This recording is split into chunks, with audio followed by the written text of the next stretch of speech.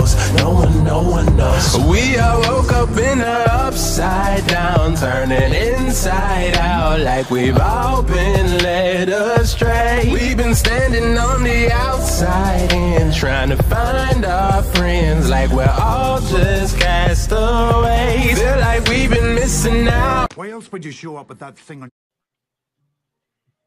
Hello, everyone, and welcome back to another Harry Potter intensive video with myself, Alexis of Ascension Diaries, with Jenny Moonstone, and with Alexia with RikiLeaks. We are here to review book and movie number five, but we did see your comments and your feedback on the last few videos. We want to cover a few more things that happened in the fourth book and the fourth movie before. So this video will maybe be more of a combo of four and five. We may touch on six a little bit but our intentions are more so focused and we're excited to get into this presentation. So take it away.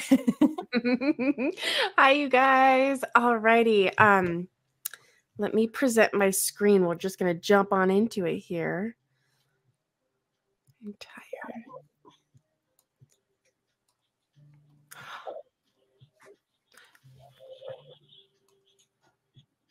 Okay, cool. You guys can see my screen, right? Yes. Now we can. Okay, cool. Um, as always, we're not endorsing you to do idol worship. I always try and say that when we're talking about things of esoteric nature, because everyone who, the people who need to hear about this the most are people who are usually scared of magic. And it's like, hey, there's nothing to be scared of if you don't idol anything. So we're not idling anything. You can do whatever we're talking about. Uh, as always, let's put on the whole armor of God. Oh, Heavenly Father, I ask for the whole armor of God, the helmet of salvation, breastplate of righteousness, belt of truth, shroud my feet in God's gospel, give me the sword of the Spirit, and the shield of faith. Thank you so much. If you want to put on your frequencies or grab any of your protective stones, definitely do so now. This is the information that the bad people do not want you to know about. So they try and make it hard for people who do know about stuff. Um, all right. So like, is so funny. Sorry. I just what? Okay, just like, okay, and now here we go. Okay, let's go. oh, that's funny. I'm ready. Um okay, so a really big the reason I have we are talking about Harry Potter with the girls and I, really this conversation started with like Camelot and the Knights of the Round Table. I've been talking to I mean, me and Jenny have already done uh the principles of hermetics and this is something that we always come back to where there are good people fighting in yes secret societies alongside the bad people who have taken over the secret societies and everything kind of goes back to a we need to stick together and we need to band together. And that is why Satan and all these overlords try and segregate us so much. Um, that's why there's racism at the amounts there are right now because they simply just don't want us talking to each other and ganging. the second we all come together is the second that these dark people have like no control over us. So this is a story old as time because we're talking about fiction books. I can talk about the Bible freely. It's a fiction book, right? It was edited, right? So the Bible explains that there was an old religion with old ritualistic, sacrificial um, resurrection of little g gods, basically resurrecting their souls or Osiris's souls back continually back into bodies of Pharisees back to all of these, um, again, little g gods. And this is story as old as time. And we have stories in the Bible like Abraham, he was about to kill his son. He's like, I guess this is what I got to do. And someone's like, no, we're not going to sacrifice that way. And then, of course, we do have the savior of that little fictional book called Jesus. And he was like, okay, uh, really, the story of Jesus to me is best described in Narnia and Aslan because wow. he's like, I'm going to sacrifice myself to you. I get your guys' little stupid game of sacrifice magic. I'm going to one up you and I'm going to sacrifice myself for everybody because you guys are making everybody do your nasty rituals and they're all going to have so much karma that they're not going to make it into heaven. This is also what that series um with Ted Danson and uh, Perfect Place, Good Place, The Good Place. Oh, Have you guys seen that? mhm. The Good Place is a really cute little series about um everyone goes to heaven all these people died they went to heaven it's the great place but things aren't very heavenly in this heaven sphere and uh you realize that they're not in heaven they're actually in hell and for 500 years no one has gone to heaven because the rulers on earth are making everyone do horrible things. Even if you think you're vegan think you're organic think you're not doing anything the powers that be have riddled everything with so much dark magic that every single second we are sinning to where mm-hmm. we will never be able to make it into heaven. And it's not the people's fault it's like the powers that be that are doing this. So this is very much indicative of these old type gods and their old type magic so in the end of the fourth book um, we do talk about the Triwizard tournament and this Manchurian candidate character who was helping Harry get to the finish line. So Harry goes to retrieve a medal, and the medal trophy um, basically disallowed the people to continue staying in the race. They actually transported, teleported. It was like a Stargate into a different uh, into a different place where Voldemort was. And Voldemort was there with Wormtail, the rat that turned into Peter Pettigrew. And they you first of all they killed Cedric Diggory, so that's already a death right there. Um a Horcrux could have been made right there because they killed a child. Um they used blood of an unwilling host, which is Harry. They used a hand of a willing um supporter of Voldemort, which is Wormtail's arm, and they do a ritual to bring Voldemort into physical form because he was like, ugh, he looked like a little parasite, really. And they just threw him in this big cauldron and all this like blood and ritual magic, um, plus a death. And it was a very, very hard scene. But basically, why this is important to understand is because um that means that Voldemort is back. He is back from the dead and this we see this all the time in these type of ancient stories because that's what Osiris did. That's how these older religions worked. Um, and Osiris is the king of the underworld. So Ra is going to be the sun god. So in per these people, I'm not saying I believe in it. I would never say I am RA because when you understand how these people worked, you understand how they used I am phrases, and we'll get into that later. But Osiris was the person of the underworld. So if you're dead, you can come back through this resurrection process. And he- this is what Voldemort basically did. Um, we start off the. Oh, did you want to say anything about the Osiris? I hate it so much. I just run through it. No? Okay.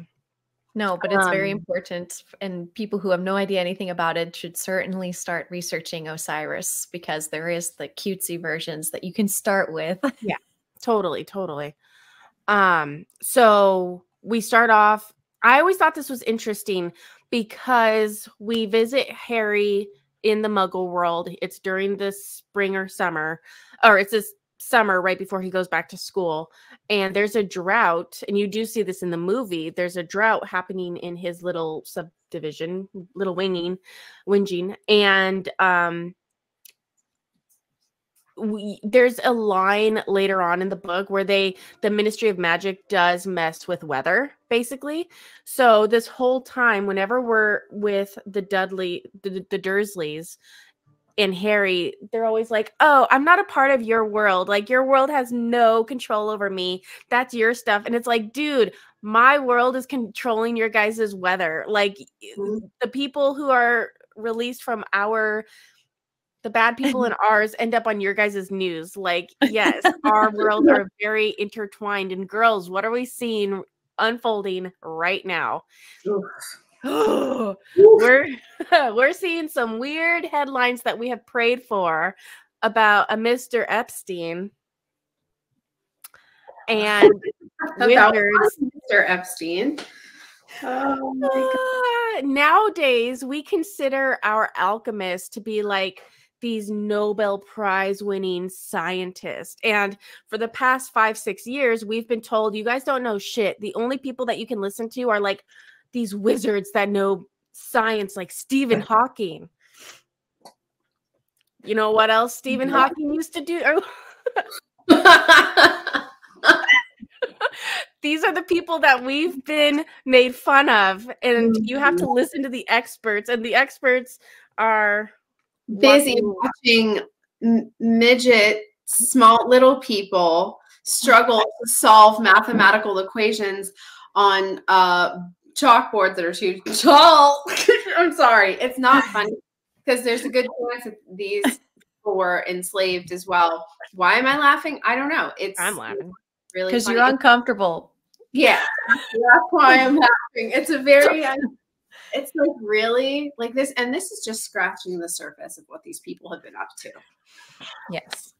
i just want to say something because it is fake news um, and we talked about it last time where where we hear um the black pillars in the movement who are like just trying to bring down anything that happens and any kind of forward movement. You have these black pill people going, nothing's going to happen. And it's so silly because they're saying nothing's going to happen to the people on that list. Bitch, half of them are already dead. They've already taken care of some of these people. Obviously, we're making fun of Stephen Hawking because he dead. All the there's other names in there. Like when you go through and highlight the people who have already died or people's names who we really haven't seen. Like, for example, Tom Hanks.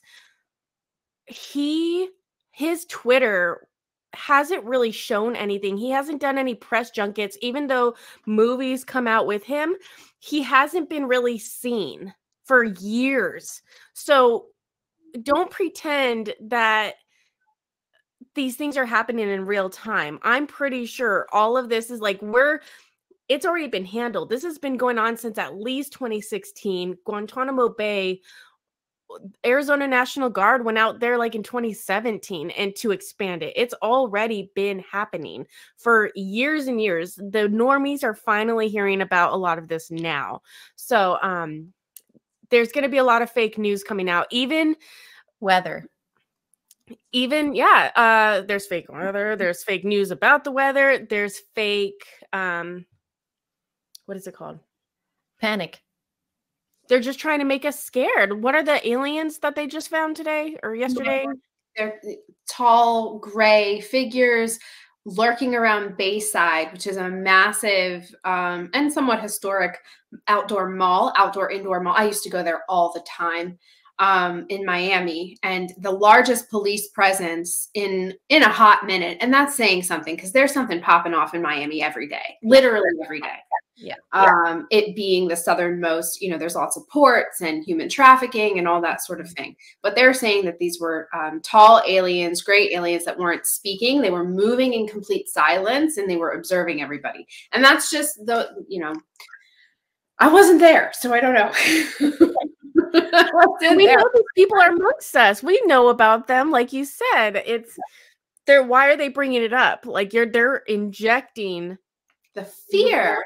Yeah, I mean, you'd be hard pressed to find, you know, that's that's about the most terrifying thing that the Western psyche can fathom because of all of the movies and shows that we grew up with. And aliens, invasive aliens, are the end all be all um, in terms of, of you know fear control because it's like they're here to hunt us, they're here to destroy us, and um, that's about as terrifying as it gets, right? So anytime they want to inject that kind of fear into the collective psychology that's where i'm like i mean we know that this that that they're real we know that there are real negative ets but they are kind of the ones puppeting you know behind the puppeteering of the whole show they're not you know just gonna step out one day and be like oh we're gonna hunt you now like they've been hunting us this whole time yes.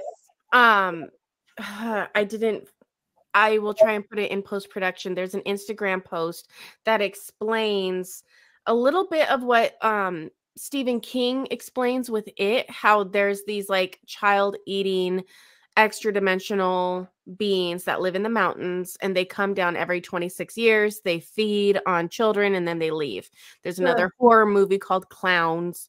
And this is another way of getting it. This is why we call the CIA clowns because they look into the missing children and CIA cases, look into see how many children CPS loses every year. So the idea is that these clowns that are under guys come and steal children for this purpose. So they've always been there, but they don't want you to realize that it's your tax dollars paying for it, that how close they are. Um, and also with what me and Master Jeff do, he's an exorcist, like in LA.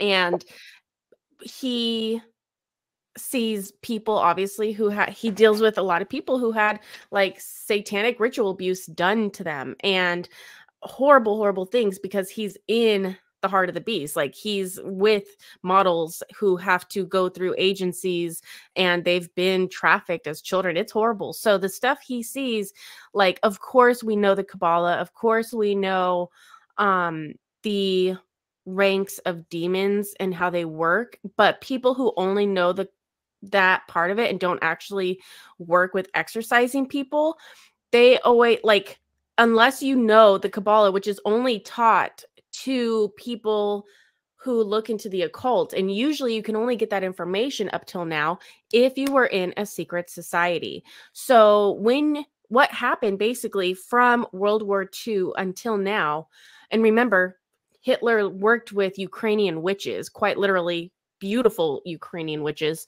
Um, Helena Blavatsky. Some do you guys know her name? Marie uh, Bl- Marie oh. Orsic. Wait, which one? Um, there's Marina Abramovich. She's I don't know if she's Ukrainian or what, but she's she was part of the spirit cooking scandal. Um, are we talking about the Vril? Are we talking about it the, was the Vril? It was the Vril, and they were beautiful blonde women. Yeah, those are the Vril. Those are the that's the Vril Society. That's, that's the Vril Society. Yeah. So society, not the actual Vril themselves, but right. they were a these uh, women who were into the occult, knew witchcraft, and were teaching a lot of their stuff and being conduits to these demonic forces um, for Hitler. And what was Hitler doing all throughout World War II? I'll keep reminding everyone he was trying to get artifacts.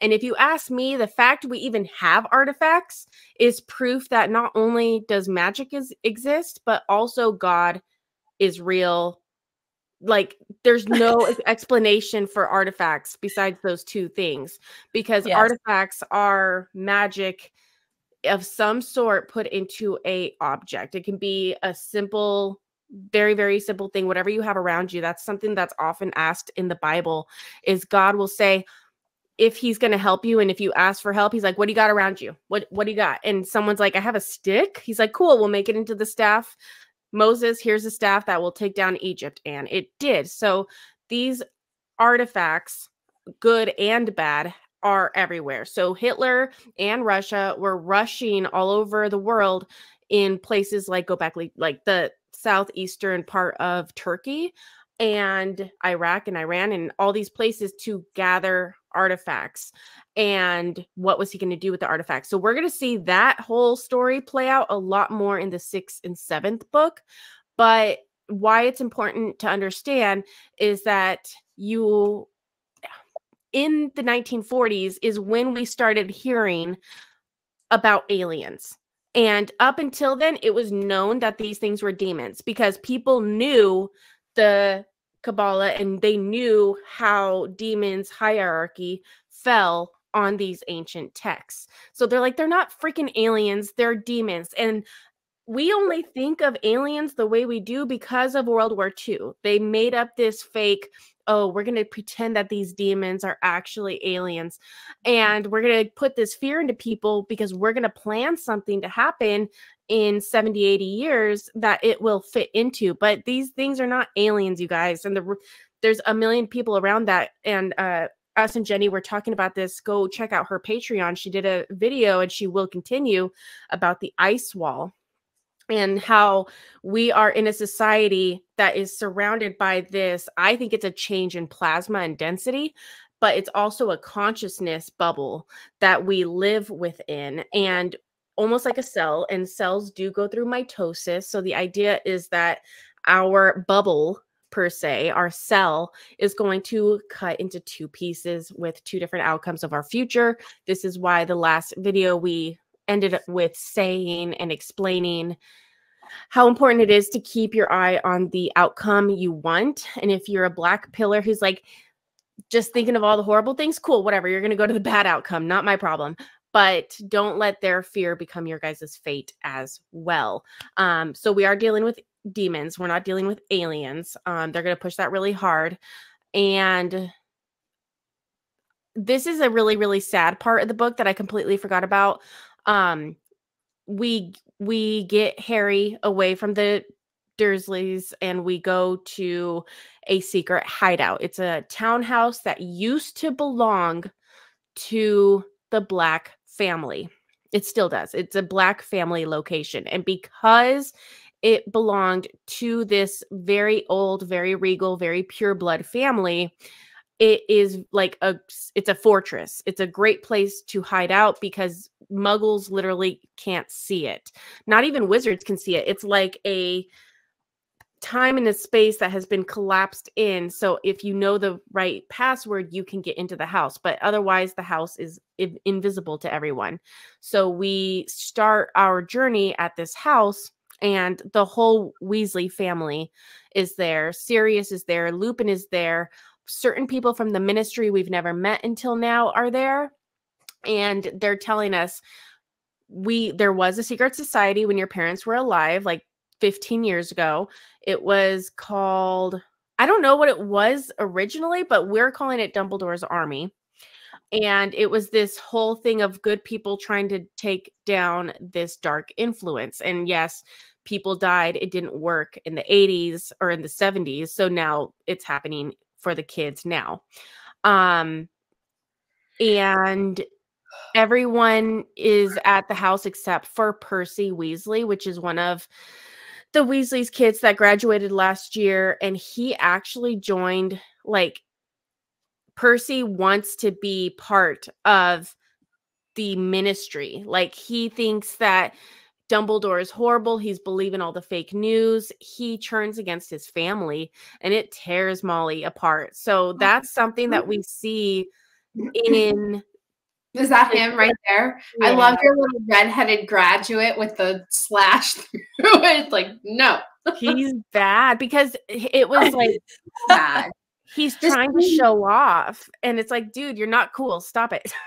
Well, how about when they were holding there was like a you know the the ministry sent their goons into hogwarts and none other than percy freaking weasley had was like strong arm and harry and he's looking all proud of himself. It's like you traitorous bastard. That's your brother's best friend. Like it's just like super wild. He would be he's like the equivalent of the raging like Karen leftist liberal that was like, get your vaccine, wear your mask, you know. There's got to be one in a family, right? And it was freaking Percy. Thank you. Yes, there has to be one in the family. That is what this entire, to me, video is about. This entire um yin and True. yang. In magic, you know of yin and yang. There is nothing that is completely good and there's nothing that is completely evil. So in a wonderful family like the Weasleys, and we'll go into their blood later, but like the Weasleys are a pure blood family. Molly's from like Merlin. Like she knows this ancient magic that other people don't even know anymore. Um, Molly Weasley's amazing and we'll definitely cover that later. Um, it's to the point that like the Weasleys at Hogwarts should be just as famous as like Harry Potter. Like that's how ancient their blood is. It's really yeah, like one of the original old blood families. And I they're redhead, which if you know about all this like RH negative stuff, mm. all those people and like the original Jesus, like everyone always goes back to this weird redheaded bloodline. And the Weasleys are this Scottish redhead. It's very, very interesting. Bunch of weirdos. No, I'm just kidding. They're crazy. They're absolutely insane. I love our redheads. I do too. um, Easy people. so yeah, one of the good family one one percent went bad and then we still have to expect that bad families like behind alexis rose alexis can you describe what's behind you Uh, sure. so we have the Black family tree in this scene, which was, I don't know if they described it this way in the book, but I liked the way that they did this. And a household of extremist ideals about mixing with anything other than pure blood magic people and just the remnants of this household and their family line as most of them are dead or in jail and the resistance is now using their home to bring back equality to the wizarding world so it, it's a beautiful symbol and i really like that that particular symbol and it's interesting that they have remnants of even his mother and this house elf that run around that are clearly very disturbed still but they there's they have nowhere else to be so they are the little bit of darkness that's still left in this home in a way Yeah. It, okay. So we have the same way that Percy is an asshole in a great family. We have a asshole family that had a couple really really good characters and this is the epitome of yin and yang. In the darkness there'll be a little bit of light. In the light there will be a little bit of darkness. If you ask me and it was said incorrectly on star wars but yes it was. Thank you. It was said incorrectly. He should have said something slightly different, but um What- what did he Obi-Wan what? What did he say? I haven't seen Star Wars. Obi-Wan explains when Anakin starts going Anakin was basically taught magic like 5 years too late. He was a little too old to learn what he was supposed to. And Yoda was like, "Yo, he has way too much fear in him." Yeah. And so and he becomes older and the bad guys put fear into Anakin. That's all they had to do. They didn't use force, they didn't use anything. They were just like giving him bad these dream. proclamancy, these bad dreams. So they were fearful bad dreams. And sure enough, this is what changes Anakin into Vader is he goes to the dark side because he's fearful. And um he says, Obi-Wan says, only Siths deal in absolutes because Anakin's going crazy, going only this, only that. And like Obi-Wan is like, you can't be saying this because you obviously don't know true magic if you're saying that something is only bad. However, everyone laughs because saying only Siths, which are the bad guys, deal in absolutes itself is an absolute. So he should have said, like, mostly Siths who talk like you're talking are usually end up being bad because they're not seeing both sides of the story but he said only so that's it's a funny thing but this is basically also what happens in this story. It's also very reminiscent of hamlet which we'll get to in a second. Um okay so in real life in real life y'all we have a black nobility and a black family tree as well um, you guys, I will have links below. I have a dear friend, um, Jack Pendergrass, and he has all of this information. He has links to hours and hour long videos, but it's basically explaining this order of all the they might have been good at the time. I'll always say that. They might have been genuinely good uh secret societies that were taken over but the truth is that they have been taken over and like i said earlier there might be good guys that have infiltrated there are people playing the long game on both sides. There's double agents there's triple agents on both sides. So keep that in mind but basically there is a black nobility. They are a horrible family but if anything is happening like in harry potter there's one or two good people of that family that will help the good people win because you need someone close. You need someone who has their intel. You need someone who has the DNA within them because DNA holds memories. So if you can unlock your DNA, you can unlock your ancestors' memories. And this is why I talk so much about take doing Paris cleanses, but specifically using oxidizers, oxygen, because oxidizers will decalcify. This is why we always hear antiparasitics are usually arthritis medicine because they're they're decalcifying your joints and your pineal gland and your DNA, and your DNA is calcified. And that's the real reason. It's not because of telomeres. You hear all that all the time. It's because telomeres are unraveling. They're unraveling. You have to stop the telomeres. No. Go off, sis. Go off. Ugh, there's fake ass people pretending they know what they they don't know. It's actually calcified, and that's why we can't reach these 12 strands of DNA. So I'm always like, yeah, definitely take this. You'll poop out a bunch of worms. But what's really happening is you're killing your blood parasite, which is a vampire, and you're decalcifying your pineal gland, which means you'll get your gifts afterwards, and you're decalcifying your DNA, which means you will remember what your ancestors remembered, and even living people uh, that share your bloodline. Yeah, true discernment and true memory. Yes, yes, yes, yes. Okay, um, I want to play a recording.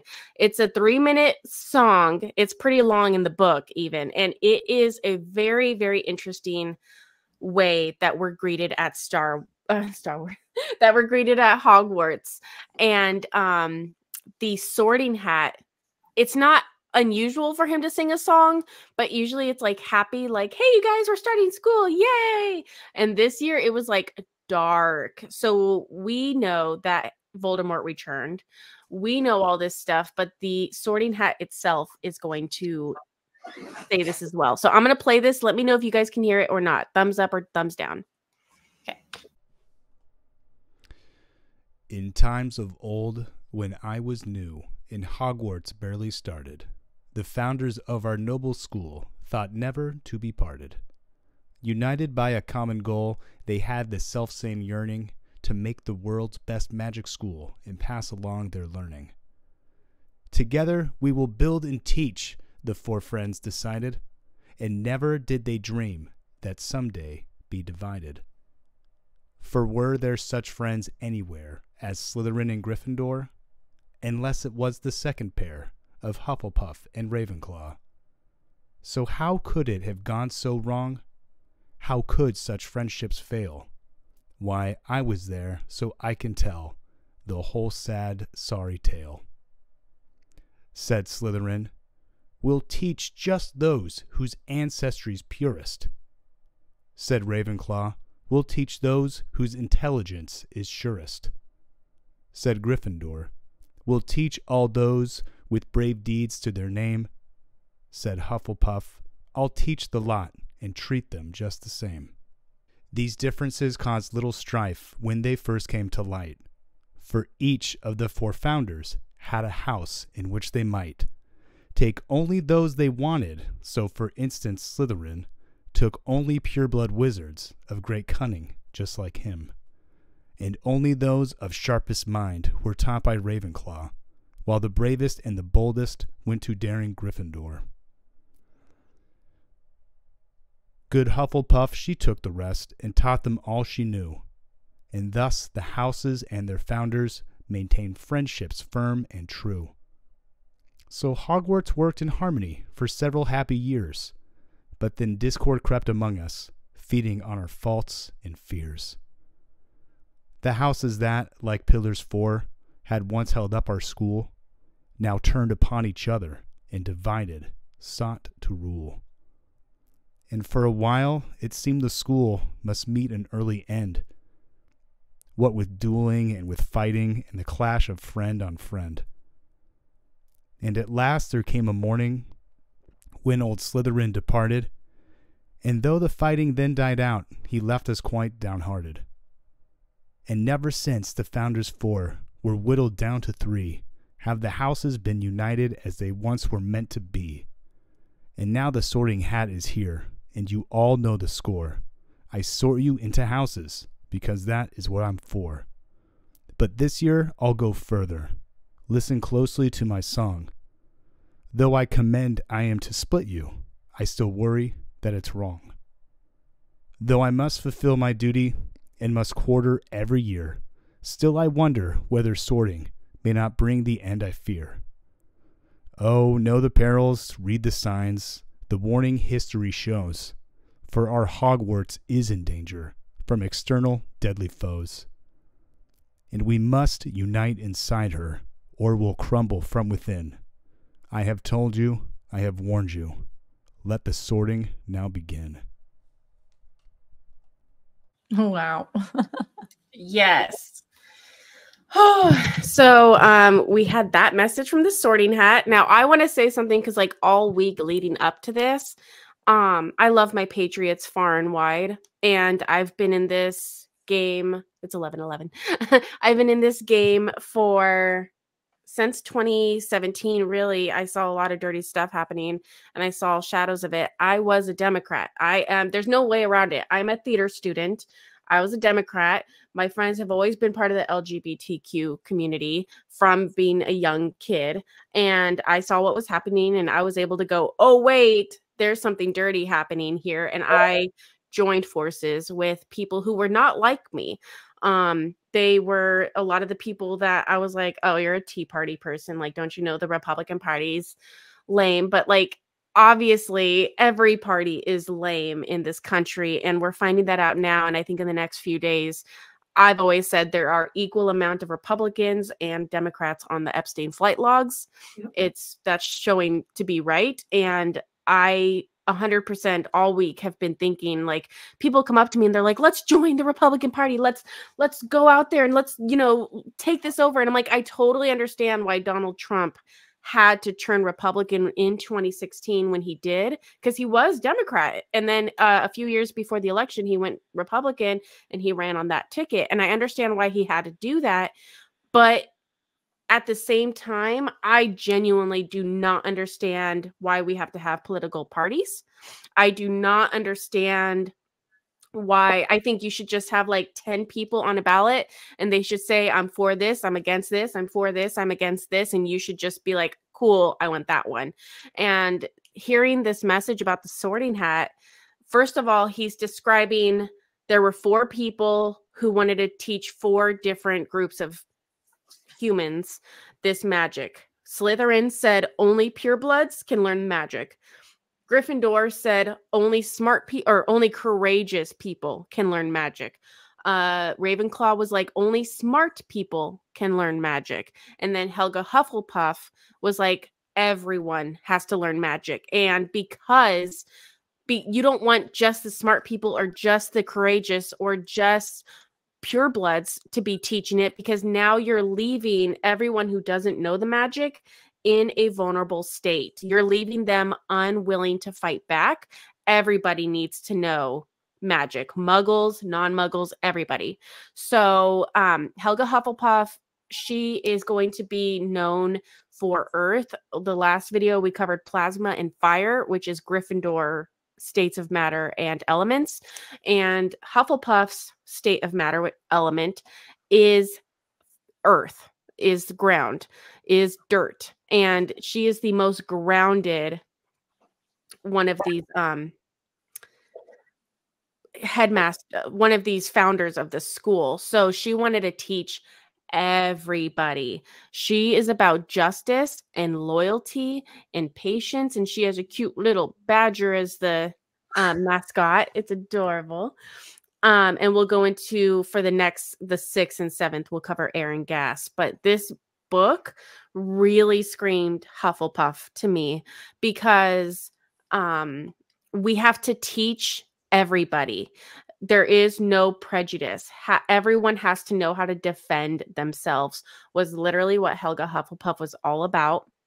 Um, and this is the entire basis of this um, episode five is teaching everyone because ultimately the ministry comes to school and they have a very nice when they're talking about um umbridge the book Umbridge is like even way more evil than the movie Umbridge. They couldn't put half of the stuff she did in the movie because it would be hard to watch. It was hard to listen to. I had to listen to the book all week. I got into a dark place. Listening to this book. It was bad. And it's so close to what Jenny said earlier, what they did to us these past four or five years. And it was triggering, and your best friends turn against you, and all the things. So we really do see this in this book.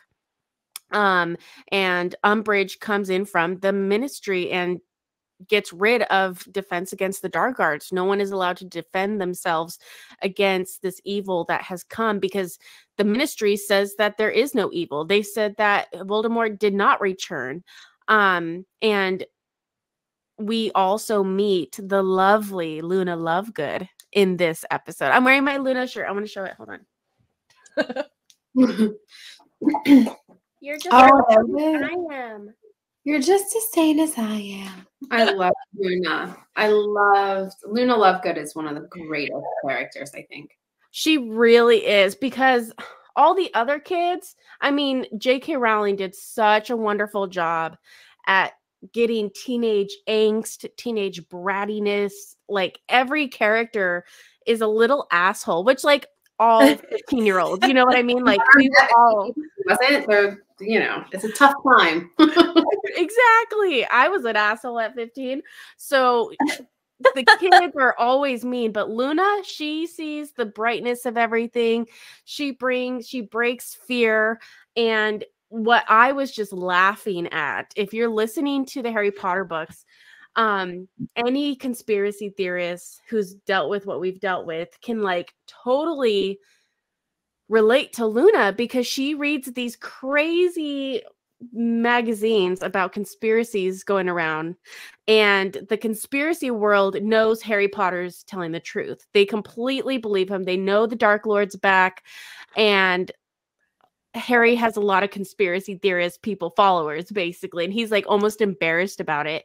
So he's reading Luna's crazy ass magazine and he's like, "Oh yep, that's right. Oh yep, that's right." And then there was an article about how the minister is it Fudge? Yeah, Fudge was actually cannibalizing and eating um goblins and Harry's like, "Oh, that's crazy. That's where I draw the line." And I just laughed my ass off because you totally this is something that totally happens in the conspiracy realm. I have friends who, yeah, they totally know that there's a reptilian vampiric force taking over. They know that it's infiltrated the governments.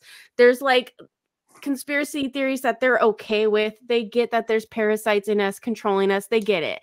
But it's when you start saying, oh, yeah, and they're eating us and they're feeding the bodies to you. And they're like, no, that's where I draw the line. No. And it's like these half woke, many of our friends. And it's like, no, like, it's all true. So I just thought that was so funny because like Luna knows it's all true. Yes, they are eating goblins. They are eating humans. Yes. It doesn't just stop where you are willing to accept reality. So it's so funny um to Yeah. hear Luna come into the equation. And the quibbler. Th- thank you, the quibbler. Thank you. Um oh god, Hermione is annoying in this one, like worse than ever. This is her worst book and they don't cover it in the movie. But the whole time Hermione is trying to free the hundreds of our house elves that work at Hogwarts. Like Hogwarts, the way that their food is made is house elves make it and then they put it on the tables. They clean. Like Hogwarts um, housekeeping is ran by these house elves and they're treated very, very well. They're taken in. And Hermione's like, oh my God, they shouldn't be slaves. And she's trying to free the house elves the entire movie and they don't want they don't want to be freed. They're like we're we have the best job in the world leave us alone little girl. And like she's trying to fake them into freedom. The house elves are scared to even go out into the corridors and do their jobs because they're scared of hermione. And, and somehow she did get one of the little she gets winky and winky loses his job and winky like turns to a life of alcohol and becomes a very sad little house elf that's crying all the time. And it's like they're trying to show hermione like knock it off. Like they don't want to be free. You don't understand it's so stupid so Wow. Yeah. that's something that's happening. It's so annoying. Um, Hermione and Ron become become hall monitors, and apparently Brits think that's like a really cool thing. They're called prefects. Um, yeah. no, it's so lame. it's so lame. I would laugh at them. Mm-hmm. like no. Um, but because they're made prefects, they're not allowed to hang out with Harry.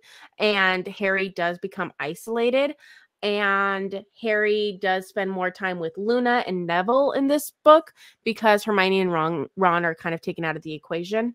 Um, OW owls are the standardized testing in the wizarding world.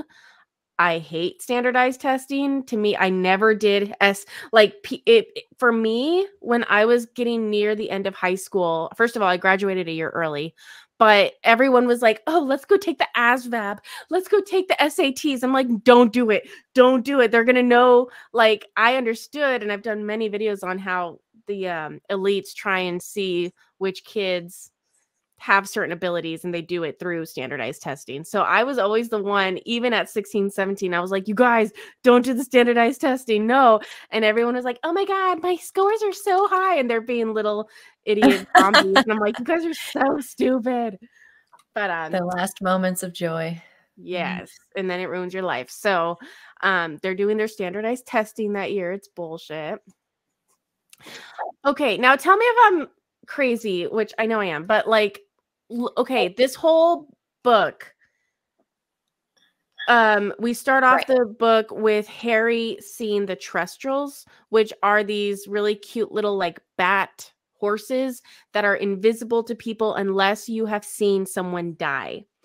And i'm sorry harry saw his mom die he saw voldemort die in when he was a baby. When he was 11 i don't think Professor Quill Quirrell lived through that, did he? He murdered him. he murdered Professor Quill when he was 11. this guy's a killer. He's a straight up old killer. Yep. So shouldn't he have already seen death? But whatever. Cedric was his end all be all. So Cedric dies and now he can see these things. I'm pretty sure he would have seen him since he was 11, but whatever. It makes for a story. Plot um, hole. Plot hole.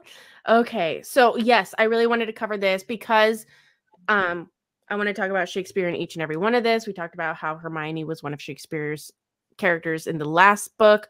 Um and if we also talked about the librarian series in the last book and they go into Shakespeare because whenever you have fictional stories that can come to life, we have to look at the fictional stories that were read the most. And Shakespeare is always going to be that. I love mm-hmm. Shakespeare because he didn't spell anything correctly. I hate when people are like, oh my God, you don't spell anything correctly. And I'm like, do you know Shakespeare? He didn't spell literally, he made up his own language and he is awesome for it. But basically, um, this w- I'm actually going to read from an Indiana University um students I don't even know if it was their thesis. I do know when I was in on Twitter, I do know there were like 10,000 thesis thesis written by college students saying, "Okay, Harry Potter's real." And if you wrote that, you were basically enter- entered into a society because you said, "Hey, I know that it's real." So there's hundreds of thousands of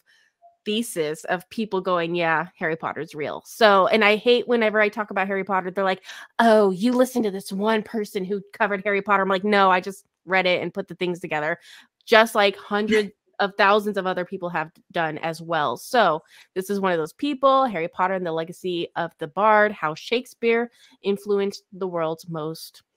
Zachary Williams by Zachary Williams Hen- Henninger.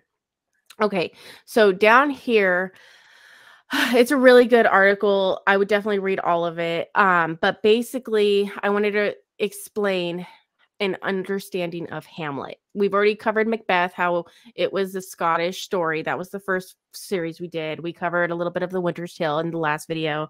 And this one really is Hamlet because let's see. The similarities between Voldemort and Richard III as villains are almost uncanny, and these similarities are a potent example of mythic criticism, drawing lines between literature written hundreds of years ago, hundred years apart, but having extreme similarities. While comparing Voldemort and Richard III is a great way to show Shakespeare's influence on the Potter series, there are even more connections to be seen. One is between Harry Potter and Prince Hamlet. In Hamlet, the prince of the same name is a tragic hero. He loses his father to the villain, and his ultimate goal between killing the person who killed his father through the play, the death of his father and actions of the villain, his uncle Claudius, have a huge impact on his mental state. The common theme of the play is madness. And though Hamlet seems to think that madness he displays is acting, much of it is likely genuine.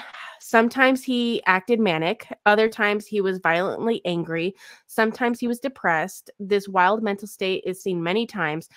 When the ghost of the king appears and Hamlet chooses to follow it, Horatio comments that Hamlet waxes desperation desperate with imagination.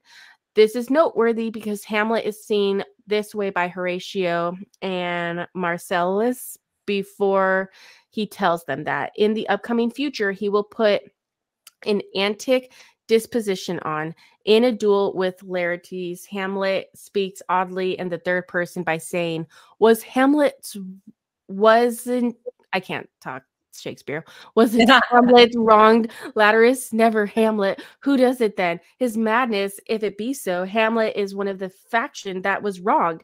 His madness is poor Hamlet's enemy. Um, and this is exactly what we're seeing in this entire book. Because yes, Harry is a normal 15 year old boy. We've already covered how 15 year olds they're going through so much hormonal changes and the testosterone's peak. You are going to have, you know, fits as a normal kid, but the storyline is literally the same that's happening to Harry. And Harry, the entire time, is mad. He's mad from the get go. And I understand it. He has totally right to be. I'm not saying that's wrong, but this is really important because Voldemort can't this whole thing is about Voldemort and Harry share a connection. And this is the first time both Harry's realizing it and Voldemort is realizing it. Yes, they share a fox feather in their wand. We'll talk about wands on the last video because that's a whole different story. Um, but basically, there's a blood connection almost that is between Harry and Voldemort. When Voldemort dies, Harry will never be able to talk to snakes again because he doesn't have that Voldemort trait. That's how like intertwined they are, basically. So, um, Voldemort. Harry can feel Voldemort, and Voldemort's making Harry literally in his head seem crazy. He's almost doing like what Palpat- uh, Palpatine did to Anakin, where he's making him fearful and he's putting these fearful thoughts and like hatred into Harry. So when I say Harry's being like an asshole, like he's really being manipulated by Voldemort to be in this mad state. And then, of course, everything that happened in Hamlet is also happening in this book as well. Um, Harry learns that after Voldemort's attempt to kill him and the spell that used Harry's blood to revive Voldemort in the last book, a distinct connection was made between the two where they can have visions of the other person and feel the other person's emotions. So, this is where we have to bring in um, Professor Snape to teach Harry how to do occlumency, which is basically covering your thoughts from the enemy to read it. And people who can read thoughts um it comes to us just like you don't actually hear word for word what they're saying. You just kind of are like, oh, this is how you feel. And then you say it, and the person's like, how'd you know? And it's like you don't have any protections up about your thoughts. Like you're broadcasting them. And um, people who have sight and sound and can hear and see know what I'm talking about. Um, and this is what Harry's having to deal with. So, on top of all this crazy stress he's dealing with at school and the school being taken over by the ministry, Harry also has to spend his time, which he doesn't have any already. He's like not getting any sleep, uh, learning how to control and hide his thoughts from Voldemort.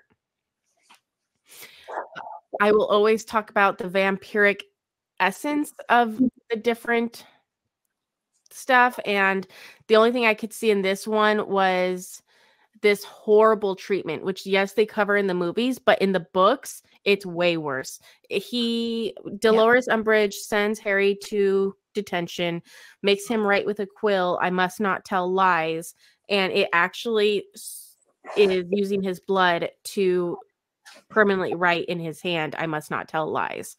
So um that's blood magic to me. That's blood magic used specifically for traumatizing, which is what we know vampires do. They use that exact thing. So, do you girls want to say anything about the last two slides?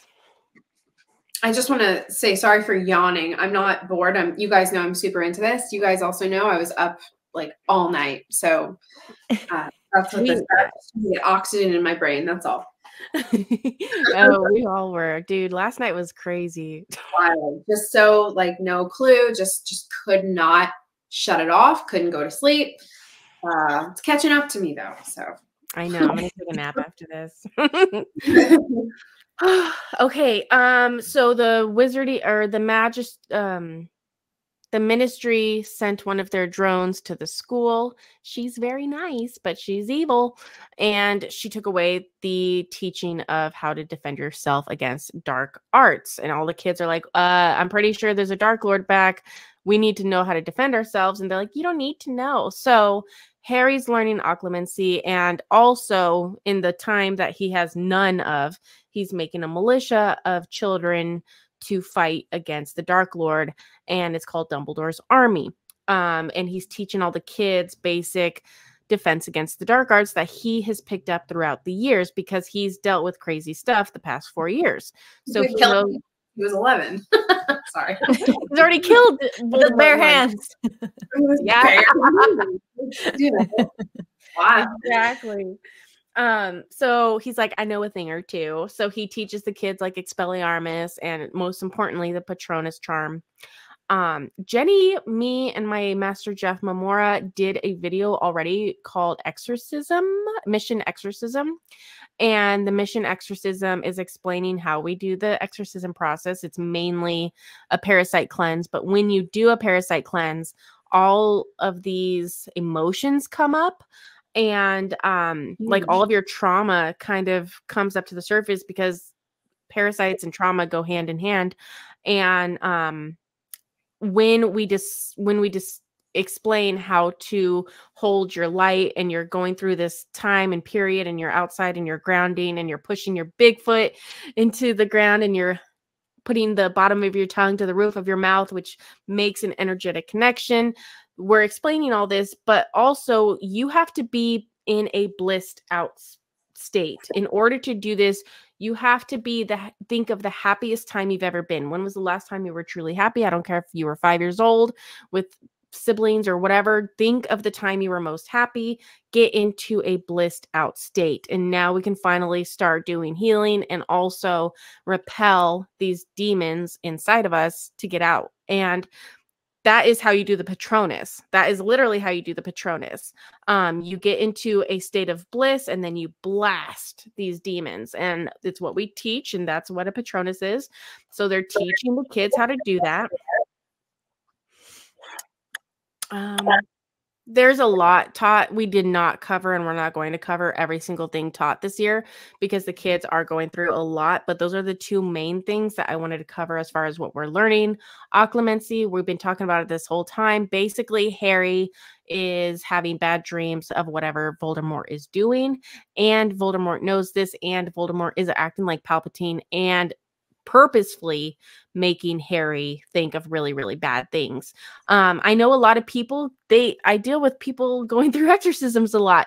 I know that when you're trying to fall asleep, you'll just be thinking, okay, what do I have to do tomorrow? I have to get this and take the kids here, and you'll receive a vision of something disgusting horrible. It could be something you did in the past that like is gut wrenching. It could be like the a picture of like dead bunnies and kitties, and it's an invasive thought. And we hear a lot about these invasive thoughts, and this is very much a real thing that humans do have to deal with, and you can learn how to um, not allow and put up a field and do exorcisms to not have this happen anymore, which is what Snape teaches Harry and what we teach on our um, parasite cleanse on RikiLeaks. So this is something to just to keep in mind because it's not something we just see in Harry Potter. It is something that happens in real life and Star Wars, which my husband is going to do what we're doing for Harry Potter, he's going to do with Star Wars. So um,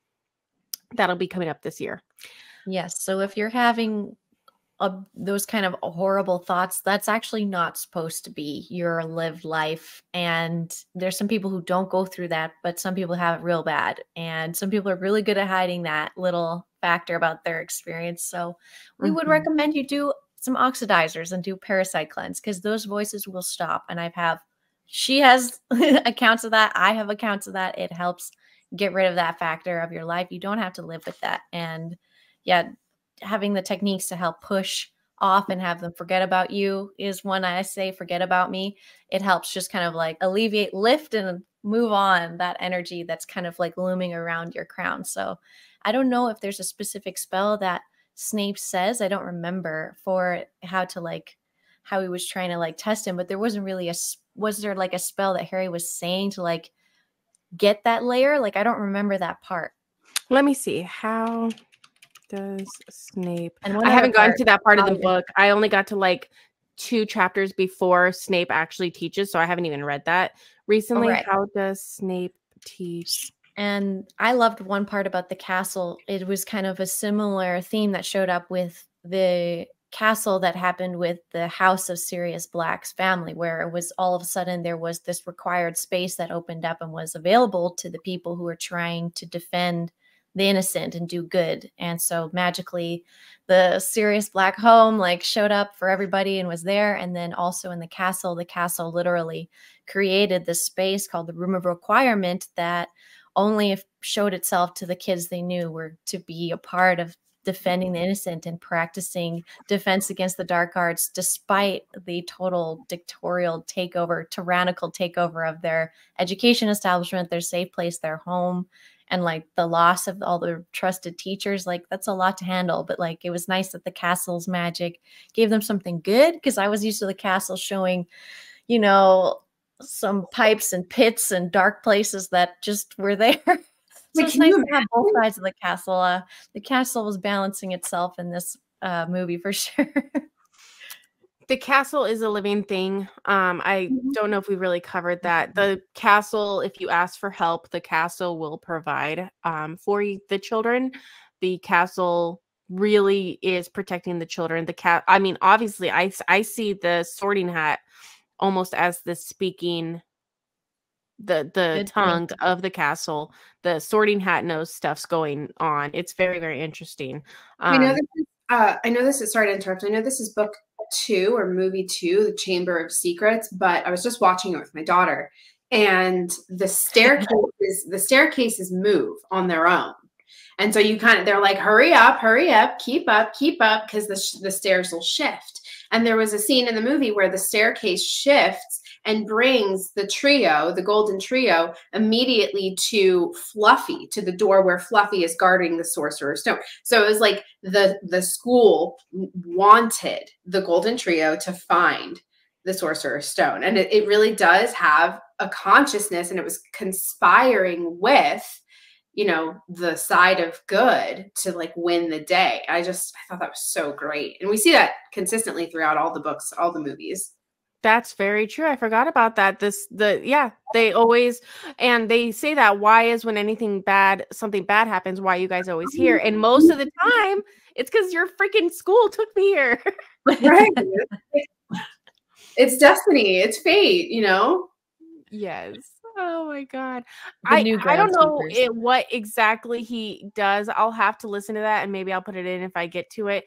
But basically okay. they explain um, that he does have three lessons and you have to be very very well like well rested. You have to be all these things that Harry's not because it's a very uh busy year for the kids. So um it doesn't go too too far and ultimately it doesn't really work because the ending sequence um ends up being because uh, because Voldemort sent Harry a vision.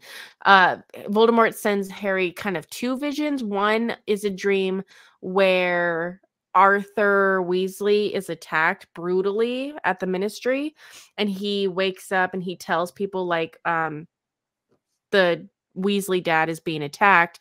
And sure enough, the Weasley dad was attacked and he's not in very good health for like Christmas, I think. So um that was a true revelation that, you know, Harry did see. So they know that he uh, isn't doing a good job at blocking this influence. This entire time, I forgot to mention, Hagrid is missing. Hagrid's not in this book because he is on a secret mission for Dumbledore's army.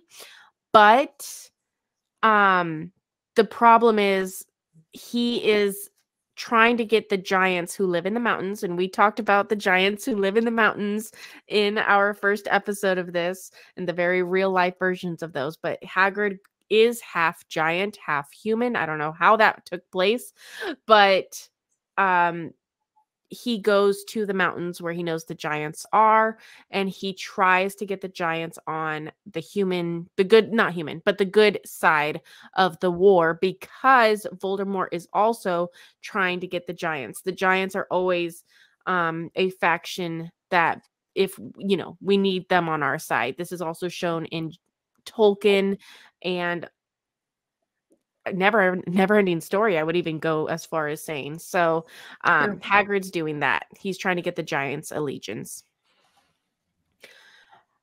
Okay so building an army. They're in britain and we explained this. Stuff that happens on harry potter literally just would not fly in america and this is probably the biggest thing that would not fly in america and it's the children meeting to discuss how to fight against evil.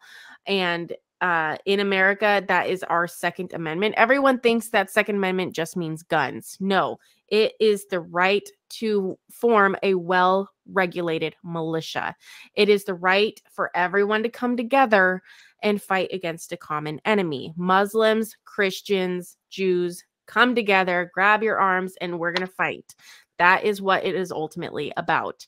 Um, that is why Satan and Lucifer, oh, well, Satan tries to make us separated. That is why they try so hard to push um, racism in both our real world and this Harry Potter universe. I wanted to show people really quick. Um, rikileaks.com all of my cure videos are there. But one of when you see my cure videos you say you can see a video called why can we legally talk about cures? And i did this this is one of my favorite videos i've ever done. Um it was on patriot.tv's channel and it was called i am affirmations in the bill of rights and I go into explaining how, first of all, I am affirmations are going to completely change your life. And it makes you conscious of the words you're saying and also, you know, how um, that changes what your actions are going to be. But it also covers how the Bill of Rights gave us the ability to fight back. And this is like my favorite video I've ever done. So um check out that video. It's very similar to this and starting an army. okay. So I always I like having this um Hecate crossroads in each of our videos because they do have to make serious decisions in each and every single one of these Harry Potter videos.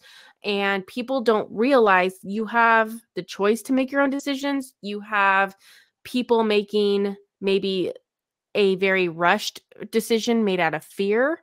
And this is just important. So, in this video, we see one choice that people can do is to listen to everything the Daily Prophet says and allow the ministry to just enter the school and do what they want because you're going to pull down your pants and just listen to authority and you won't even care if the authority has been corrupted.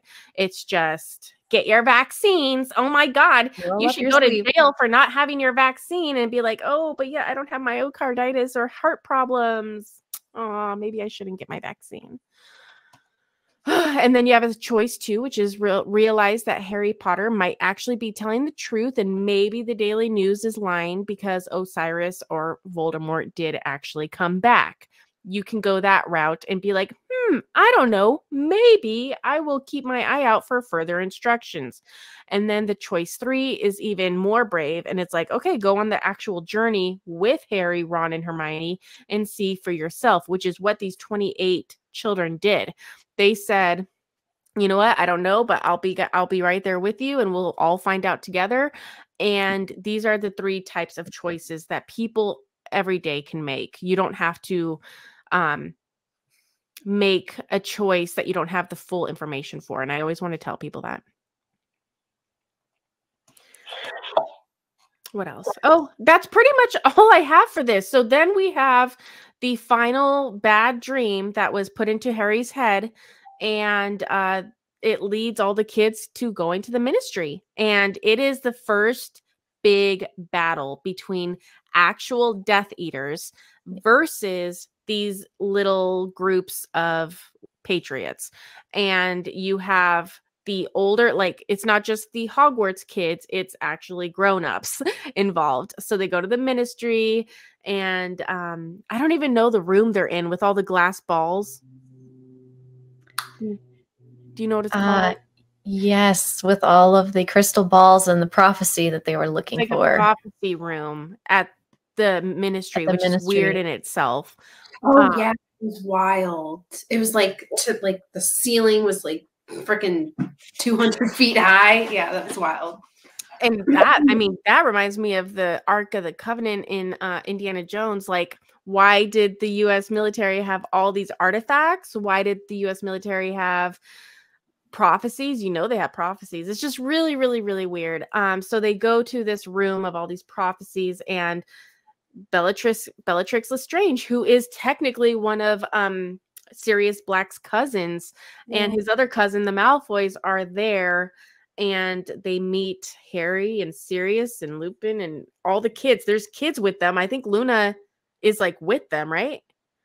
Like it's not just the Golden Trio. It's like now Oh, the kids. It's a bunch. It's Neville Longbottom's there. Luna Lovegood's there. Mhm. Um, yeah, it's like squad. It was the squad. They flew over is- there on the Thestrals. That's right. Oh, how sweet! I didn't know that. Okay, Yeah. that's cool. Um, so yeah, and we see Sirius die. He goes past the curtain um that allows him to be in this dimension or a different one. And when he goes through the curtain, that would have been a great time to have the time turner, but we don't have it. So he's gone. He gone. Um, I do want to say the Sirius Black in the movies and the Sirius Black in the books are different. The Sirius Black in the books, he's not doing well. He'll never be able to be a free man in this world. He hates being cooped up. He's kind of annoying to Harry because he wants Harry to be exactly like Harry's dad. And he's like, Oh, I thought you were more like your dad. He would have loved to go for the risk. Uh yeah, he died. So I'm learning from his mistakes. Like mm, he's not that cool. I was it's kind of like a good riddance a little bit because Sirius Snape was like making the kids do stuff. Sirius Black was making the kids do stuff that like wasn't for the best or smartest moves. Um so Right. Yes. it's not that sad. but he dies, which is super sad and then Harry's already upset and then that happens and it happens in front of him, but we get everyone out and um I don't really remember the ending that well. Well, the final scene is where Voldemort really does show up in the ministry to meet them and try and kill them. And Dumbledore shows up last second to basically make that bat- battle happen. And then the rest of the ministry shows up and sees it firsthand and believes Harry. And the false fake news kind of corrupts itself in front of everybody. because it's proof you can't lie about Voldemort not being back because everyone's seen it. Everyone mm-hmm. saw Voldemort. It's everything Harry said up until that point. Conspiracy theorist one, Ministry zero, like Yeah. he's back. So um that you would think that would be enough in the sixth book to make everyone go, okay, sorry, Harry. And I think that's something a lot of like conspiracy theorists in our groups have to deal with. Like, you're never gonna get the people who were mean to you going, oh my god, I'm so sorry. Like, you have to just put that notion aside. It's never gonna happen. There's still people's um righteousness it, it's very interesting. Um, and I'm excited to see how the next few years in real life play out. But in the sixth book, which is what we're covering next, it's somehow even darker. And um, even knowing that Voldemort is back, even in the public sphere, that doesn't change anything. There are people just like in World War II who were scared of the Nazis and went along with the Nazis instead of their own family and friends. So that's what we'll go on to next. A little nod to that for sure. Mm-hmm. And it was tra- like it was devastating. The fifth movie and book is like so- one of my favorites for sure because I like that finally Harry is being discussed amongst the adults as the asset he really is in the war. And he's basically demanding that sort of respect because he's put his he's had his life like tossed around in front of him by the adults and he had no idea as a child and he was tired of that taking his power back and being quickly educated and equipped and then having to basically become a, mil- a militia leader and educate up to like 30 kids how to without hurting each other as well like how to like secretly train to kill off adult death eaters if they try and take over just for the sake of their own like potential I don't know, just to last, just to live into adulthood, they had to really take on these skills. And a lot of us in this community have had to encourage our children as well to embrace these techniques to protect themselves from these bad dreams as well, from these intrusive thoughts, and from their own establishments that they're being encouraged to engage in, like their own schools. Like def- children are defending themselves against their own schools while at school. And a lot of these young kids in our community are aware of that duty as well, that they are supposed to be in these schools and they're supposed to kind of have a safe space for other students who maybe don't have the parents to educate them. And mm-hmm. I hear tons of stories about people in our community, their kids educating other kids and so on, and passing on that knowledge, that defense against the dark arts knowledge, because it's not being taught here either. It's not being taught in the schools, it's not being taught from zero to, you know, adulthood, but there's all this discussion about trying to educate children about sexuality instead, and those sorts of things in different areas of of our electromagnetic bodies and of our magic, but are not related to our defense, but more so about just accepting, I would say, I would say non modest behavior and self centered behavior in, in people and being less terrified by predators as they approach you and try and take advantage of you and stuff like that. So the predator level, it's interesting with Harry Potter because there isn't as much of a gross factor, but in our society, there is like adults who go into educating children, adults who go into trying to control children, like foster care and so on. Most of them also have problems with their own relationships with children and how appropriate that is supposed to be and where where they're at, at as themselves as a mature person. Mm-hmm. So the in the stories they don't talk about adults preying on the children as much, but it is in a way kind of it's more battling for dominance instead of more of the more I would say I would say more insidious stuff that happens in our society. So it's mm-hmm. interesting. Like Harry Potter gives you a taste, but there are still much more insidious layers that children aren't being educated about and dark arts to be defended again about and like bad thoughts and so on. So it's just a taste of it, but I'm glad that they were moving into that and then things accelerate so so fast into just this gang of death trying to take over the institutions that are left of the magical world but it's interesting too because they also talk about international magical world but that doesn't come in as much later on like voldemort's taking over france and voldemort's also taking over he's talking to the white house too.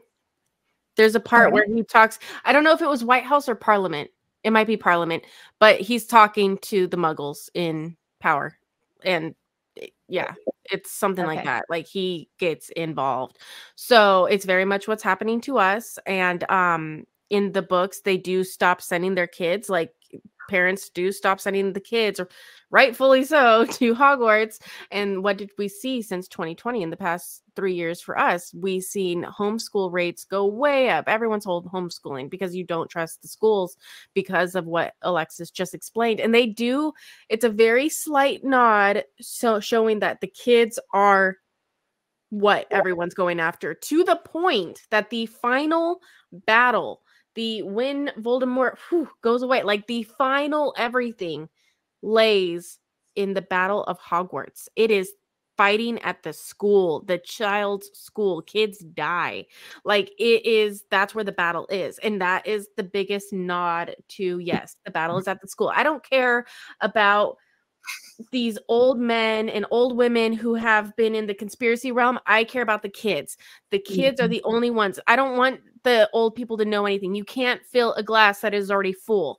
It's the children. The yeah. children. Fuck the old people. No, us. no, anyways, who cares? No, who cares? It's the kids that need this information. And it's kids that can also cast Patronus better because kids can get into that bliss, happy state more mm-hmm. than like parents can. Parents are too fearful. The whole time uh, we see Molly encounter a Boggart and she just sees her kids dead on the floor and she's trying to do riddikulus and she's crying and oh, it's Harry dead on the floor. It's Ron dead on the floor. That's what her Boggart turns into and Harry walks into this and she's just crying and it's all the kids dead and like he doesn't know what to do so Lupin comes in and he says riddikulus and it goes away. But it's that's what they're fearful of um and if parents, older people have this fear. You can't make a Patronus. You can't get into that bliss state, but the kids can. Yeah, I don't think I could get into a bliss state if that's what I saw either. I'd be like, fuck it. I need a panic button. I, I want out. Get me out of here. You know what I mean? Mm-hmm. Like, that's totally. too challenging. That's way too challenging. And kids, like, you know, it, it's just like you said, you know, kids, animals, they have their, and I think, you know, kind of in line with what you were saying, Alexis, like, they don't really i mean it's very insidious in the wizarding world but in our society the way that the adults are predatory towards children it's in a they're they're this way they they attack the children um, because the children are like the purest embodiment of good and of god and to attack the light in a child is is the about on par with taking a, a shot at god itself creator itself so yeah. it's like you know and i think that that's why these predators are like that's why they go after little kids because their light is so huge and they want to snuff it out. They want to you challenge know god. challenge god. Take a shot at god because that's what the darkness wants to do.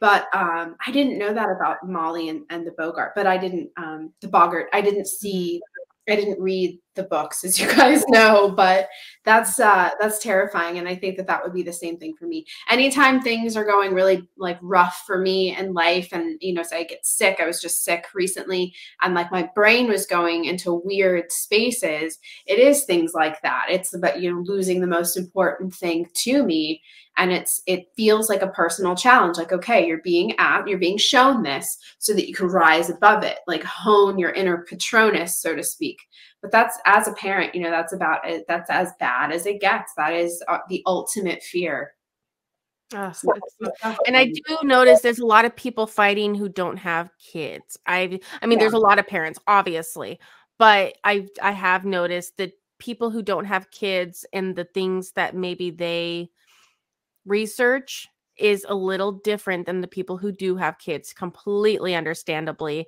um and i think there is something to when you have some a, a, a baby it's too close to home whereas when i am the aunt of babies or every single one of my friends has a 10 year old right now and yeah. that's the age of the kids going into hogwarts and it's like oh my god like i'm fighting for your babies like yeah. it's a different type of mama bear and i think that is if you go back to the spartans and stuff um the people with kids and without kids they did fight differently so interesting yeah. fascinating very cool thank yeah. you ladies so so much oh, this was a, yeah. a hard talk yeah this was a good one thank you guys thank you Um, and then the next one is the six. It'll be out in probably seven to ten days, and I'm excited to covering that with you guys. Yeah, just a final point like people who are watching our video and are really interested in knowing the subtle differences between the books and the films, there are wonderful presentations of that already made and put on YouTube from people who aren't wanting to dig in and have some deeper discussions about these differences. But if you're looking for them, they're there. And I've been entertained by those videos. But in these videos, I'm really enjoying the commentary that we're having. And their value here is, you know, it's invaluable information. And we do, I'm just grateful. My inner child is grateful. It feels safer with this mm-hmm. information. And again, I just loved this film because it felt so great to watch the kids take their power back and be able to be fierce because I know children and they are extremely fierce. The best, I think, probably the best warriors out of everybody. And you are mm-hmm. assigned your child, like the children come and deal with all and educate their families and like keep them going. But they're that source, like the connection is source and that light and that that motivation. And this this book series about these children is was a big concern and it still is and it's again it's going to be released. There's more work being done to talk about these stories and these symbols in society and keep using them. And like you said writing the papers to show that you're a part of that class and these sort of real life issues that even discussing harry potter can bring us into those realms. And we do did do our armor of god and we do they don't talk about bringing in spirit or God or like the light of God to protect them or for their Patronus. But that was just one little part I would add to the book. Be like, yes, a happy thought and the faith in God that like and that sort of energy just tap that on top and that would be good magic too you know for protecting yourself so out of all of it that's the only thing i would add and i have noticed is kind of missing yeah. from the positive magic aspect what you oh, yeah. just described um the deathly hallows and it, i almost hate that there's a lot of stuff that people are asking in the comments i'm like we're not talking about that now like i'm right. purposefully waiting till the last book um to describe some of it but the deathly hallows i think first of all it is a trinity you will not die if you possess this trinity but it's also the invisible it's the cloak of invisibility that is the whole armor of god that every single person can put on and then, of course, you have the power of the wand, which to me is the spine. And then you have a ring, which could be, I see chakras. Like that's how I see um auras on people like i can see their chakra centers and i can either see color and a beautiful vibrant flow or i can see just a dense dark cloud around their sacral genitals area and that's like 90% of the people because they have an incubus. So the reason why we have to deal with kids is usually they haven't had sex and if they have had sex, it's like a puppy love and they're still not jaded from it. So that is where your power is. It has to come up your spine and the very first chakra that you can ruin that is the sexual organs. So that's why kids are better at magic is literally because they don't have incubi yet. Wow. Yeah. Amazing. All right, darlings. I love you guys. I'm calling it quits. I'm going to bed. right? Nap time. All right. I love you guys. Bye. All right. See you later.